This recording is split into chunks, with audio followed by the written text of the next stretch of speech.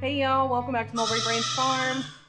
Today I'm milk testing, which you can obviously tell by the very upset little voices back in our kidding barn. And today we're gonna be ultrasounding some girls in our herd.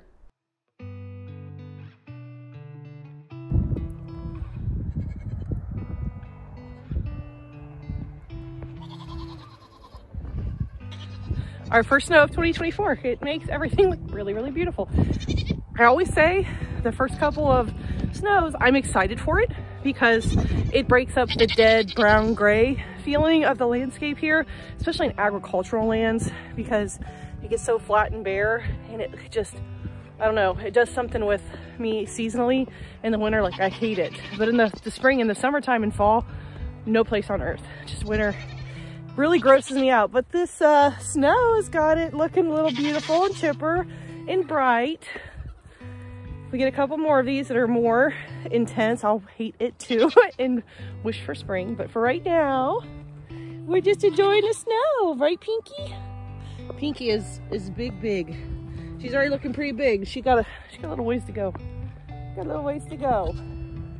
And then this chicken hawk is on milk test today so she doesn't get her babies Tahila or Chikorita. They're being separated. I'm bottle feeding them because they are taking bottles like champs. They're just doing so good and they're growing really well. Really excited about them.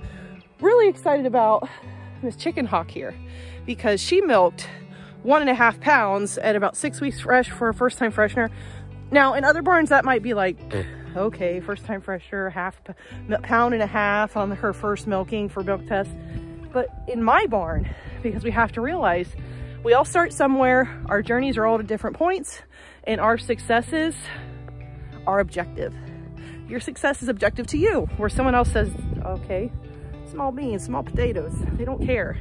But to you, if it's a big win, it's a big win. For me, 1.5 pounds on a first freshener who's a little bit over a year.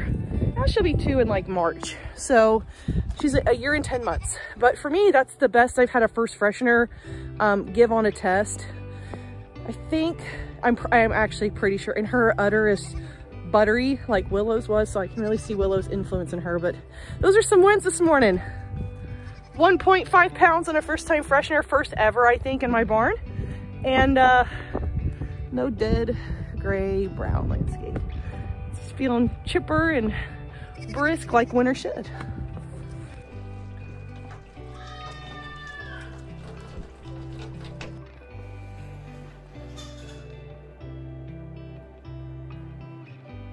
Yeah, I went ahead and bought my own ultrasound machine. It is the Caxon, Caxon, I'm gonna butcher the name because I, one of my friends used this. If you saw the video last year where we were ultrasounding some of our girls, that was with our friend Kim from Moonbow Meadows. And uh, she brought over her machine. I love the way that it felt, the way that it worked. So I decided to buy one of my own too because I figured it'll pay for itself over time. So we've got our machine. I'm just gonna go ahead and you guys can see, they're getting it all on and ready. It's booting. Super exciting. But we're gonna bring in some of our girls today. Now I have my list here and you can see that I have written the name, how many days bred, and then over here in this column, I've got number of kids. Do I think that I'm going to be 100% accurate with numbers of kids? No, not even a little bit. That will come with time and practice. So today I'm just kind of trying to figure out a, a guesstimate. And, and ultimately, I'm really just trying to make sure that I get my practice. Oh my gosh, guys, hush. Your bottle's coming in about an hour. Really, the purpose today is to just practice on this machine, to get used to how it feels. I know a lot of these girls are bred because they're getting big.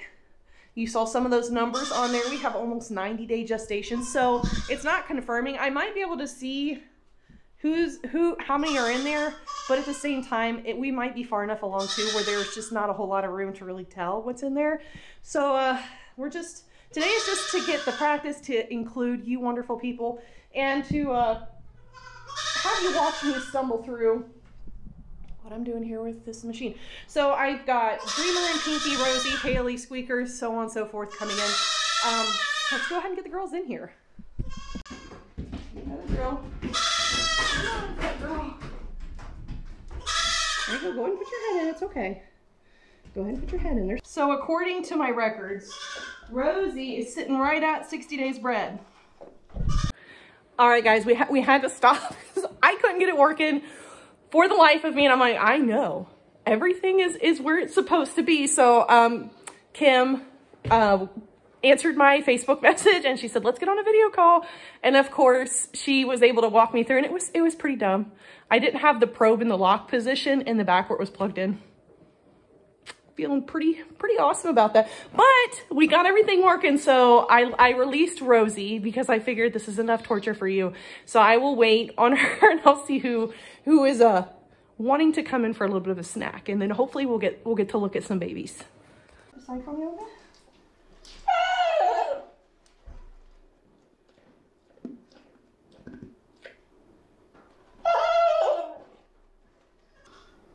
Sit oh, Emma, maybe sit so low and you're almost, see now Pinky's gonna be hard because Pinky, see, see, I, I think I feel him like right, she's such a big fat girl. Sit more on that side. So Pinky is anywhere from 68 days bred to 93.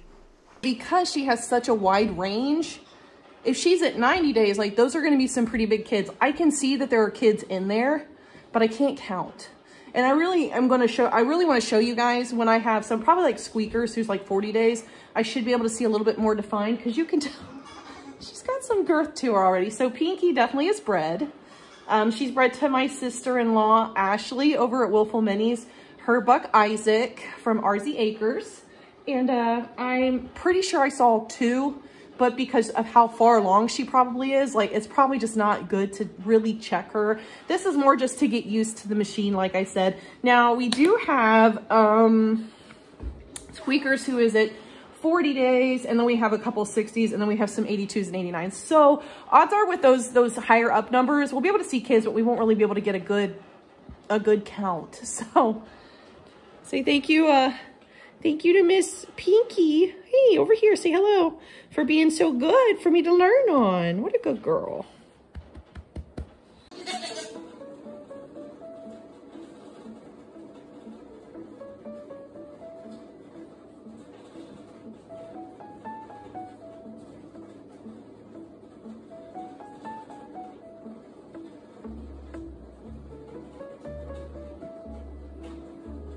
Okay, I know that wasn't the best, but like that last one, you can pretty much see she's got at least two in there because one is doing a lot of dancing and one I think has lain with its back towards us. So prolifically, Sunny gave me one for her first year. Her second year, she gave me triplets, and last year she gave me triplets. So I, safe, I think it's safe to say she's gonna probably give me two plus again this year. Congratulations, Sunny. And Sunny was actually um, our doe that we bred to everybody. Yeah. We got to DNA test those kids. Sunny, you're going to have more than one. Two to three. I'm sorry about that rag. I'm sorry about that rag. Congratulations. Okay, I've got Mark's favorite up here on the stand. This is Squeaky. Squeaky's are back from the dead kid. I joke with Mark that this is her da his daughter because this is like the only goat that he bends to. She comes to the gate, he lets her out. He lets her come in the house, he loves her. So I joke with, these are his green babies in here. so we're gonna go ahead and ultrasound her real quick and see what we got in there. Okay, Squeakers was not that best, not the best. And you can see we had to shave her because sometimes if they're too fuzzy up underneath, so like, I know some breeders probably in the southern states don't deal with big woolly uh, coats like we do, but up here in Indiana, it gets pretty cold. It snowed today. We're, we're, we're dealing with some wool. So you can see she's had tufts cut off so that when I apply my probe with the gel, it, it makes full contact so that the frequencies that are being sent into her uterus basically and bouncing back and giving me a picture aren't interrupted by the hair. So that's the whole reason we're doing that. I'm not giving her a haircut in January because I want, I really, really want to, but I did um, catch a still, pretty sure she's got two in there. It's not the best still, but from what I was looking at, I think we probably got two.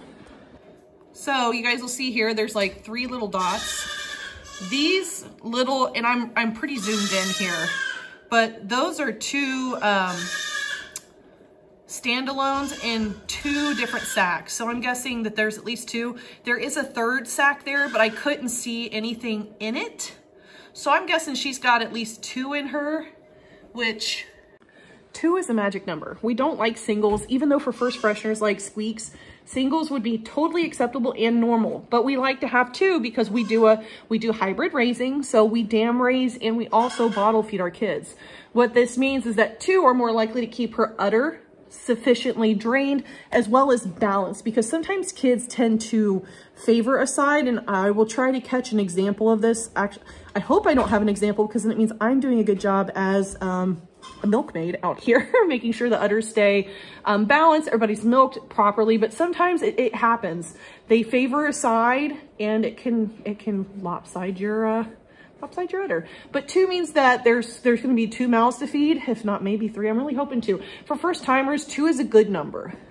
Um, two is, is a number that I think is very doable. They don't get seem like they get too um, overwhelmed. So I've got Squeaky down for two. So we've, we've actually done two, three. So she's our third. Now guys, I'm not going to really take you along with every single one, but I will give you numbers and I'll try to catch um, couple stills if I see some really, really good examples of maybe spines or anything like that for the girls that are further along.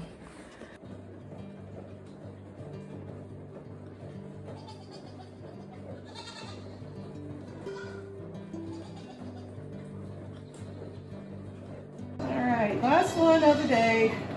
It's Rapunzel. Getting the OB lube on here. Just gonna hope that she's nice to me. We're gonna put it on up in here and get some, she's got babies there. You probably won't be able to pick it up because I've been having a really hard time picking it up. So she's got a big amniotic sac here, but Rapunzel is 89 days. Gestation is normally um, 145 to 150.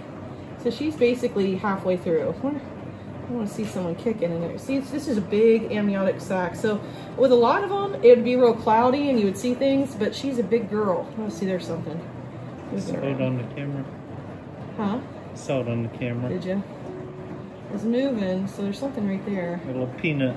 There's a little peanut. It's going to be bigger than a peanut, though. That's why she's actually going to be a little bit harder. And I'm, this comes off, so I'm just going to take some of the OB gel and just put it right back on top because the OB gel if it's not on there, this is what helps make full contact. This is your first time really using yeah, it. Yeah, this so. is my first time. So this. You did have a uh, so mentor see, like, to I, help you. I did. I had her call. Yeah. Because the gel's on there, it looks white, but when I put it on her to help make contact, it turns into. So you can come. There's something right there. Yeah, there was. She's so far along though, and she tends to have bigger kids, and she's a big old fatty. She might be hiding some on me. Because this is the edge, edge of a sack, it looks like. It might be sitting funny too. Yeah, if I push up and in. She's such a fat girl. There's something there in the corner. Yep. You're not going to let me get a count, are you?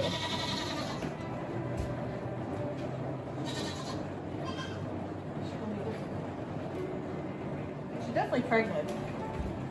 She's had what two? Every pregnancy since she's had at least two. So I'd probably be safe to probably conservatively put her down for one to two. But she's so big. If you look at her, she's just a fat. She's a fat lady.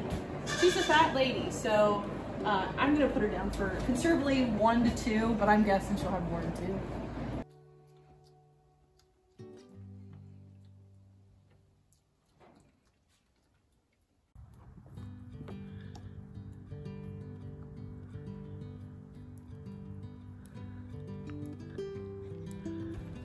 All right, guys, I think that's going to do it for us today here on Mulberry Branch Farm. Thank you so much for hanging in there with me while we test out our new ultrasound machine. Drop down in the comments how many kids you think we'll have this season.